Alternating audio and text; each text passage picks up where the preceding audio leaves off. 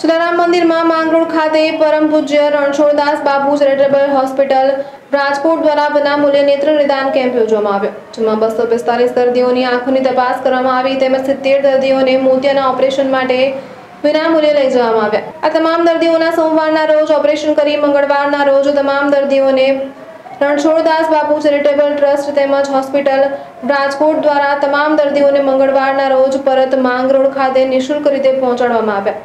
તેમજ ત્યાં દર્દીઓને ફેકો મશીન દ્વારા નેત્રમણી મૂકી આપવામાં આવશે. તેમજ ત્યાં જરૂરી દવાઓ, ટીપા, ચા, પાણી, નાસ્તો તેમજ ભોજનની તમામ સુવિધાઓ પણ આપવામાં આવી.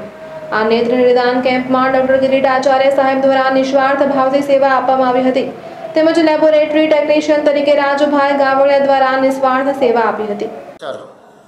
મારું નામ ડૉક્ટર કિરીટ આચાર્ય છે. હું રણછોડદાસજી બાપુ ચેરિટેબલ આંખની હોસ્પિટલ રાજકોટ તરફથી માંગરોળ મુકામે જે સદગુરુ મેગા નેત્ર યજ્ઞ દર મહિનાની ત્રણ તારીખે યોજાય છે, એમાં આજરોજ સેવા આપવા માટે આવેલ છું. જ્યાં આશરે બસો પિસ્તાલીસથી પચાસ દર્દીઓએ આંખનું નિદાન કર્યું જેમાંથી સિત્તેર જેટલા દર્દીઓને મોતિયાના ઓપરેશન માટે આજરોજ રાજકોટ રણછોડદાસ બાપુ ચેરિટેબલ હોસ્પિટલની બસમાં બપોરે જમ્યા પછી લઈ જવામાં આવશે. ત્યાં સોમવારે સવારે ઓપરેશન કરવામાં આવશે અને મંગળવારે સંસ્થાની જ બસ દ્વારા અહીંયા પરત મૂકી જવામાં આવશે. ત્યાં ફેકો મશીન દ્વારા ફોલ્ડેબલ નેત્રમણી મૂકી આપવામાં આવશે. દવા, ચશ્મા, ટીપા, ચા પાણી, નાસ્તો, જમવાનું વગેરે તમામ સુવિધાઓ દર્દીને નિઃશુલ્ક આપવામાં આવે છે. છતાંય પ્લસ રણછોડદાસજી બાબુ ચેરિટેબલ હોસ્પિટલને Ayushman card, Amrutam card, Vatsalya card આ બધી સગવડતા સરકારશ્રીએ આપી છે, તો એનો દરેક દર્દીઓએ લાભ લેવો. એમાં એટલા માટે છે કે એમાં મોતીઓ, વેલ આ બધા ઓપરેશનો મફત થાય. તદુપરાંત સારામાં સારો લેન્સ મફત મૂકી આપવામાં આવે.